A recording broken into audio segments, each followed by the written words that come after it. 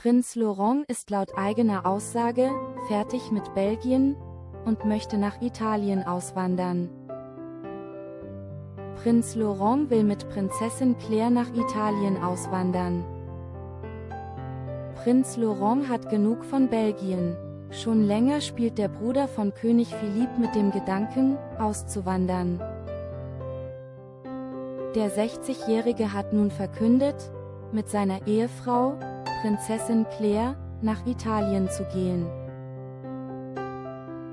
Dabei handelt es sich um das Geburtsland seiner Mutter. Ich habe nicht vor, für immer auf der Erde zu bleiben. Ich möchte meine Träume wahr werden lassen und bin hier in Belgien fertig, sagte der Sohn von König Albert und Königin Paola dem französischen Magazin Soutinfo. Prinz Laurent ist es so ernst mit seinen Plänen, dass er sogar die belgisch-italienische Staatsbürgerschaft beantragt hat.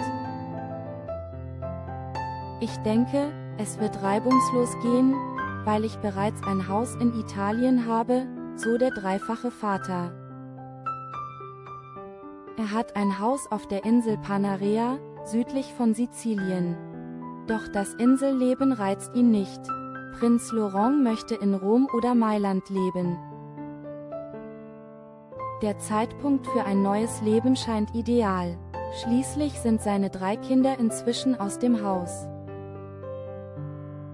Prinzessin Luise studiert in Maastricht, Zwillinge Prinz Nikolas und Prinz Eimerik haben gerade ihre militärische Ausbildung angefangen. Bruder von König Philipp kritisiert die Monarchie. Aber nicht nur über seine Auwanderungspläne spricht Prinz Laurent. In dem Interview kritisiert der Bruder von König Philipp auch die Monarchie.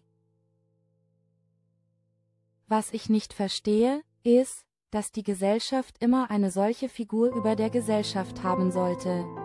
Einen Präsidenten, einen Premierminister, einen König. Warum können wir nicht einfach zusammenleben und uns ergänzen? Wundert sich Prinz Laurent. Er selbst habe kein Interesse mehr daran, eine Rolle im Königshaus zu spielen. Ich habe beschlossen, ein anderes Leben zu führen, und ich bitte darum, von meinen Verpflichtungen befreit zu werden, erklärte die Nummer 14 der Thronfolge. Durch den Umzug verliert Prinz Laurent zwar seine Apanage, doch die sei eh nie hoch gewesen, so der Royal.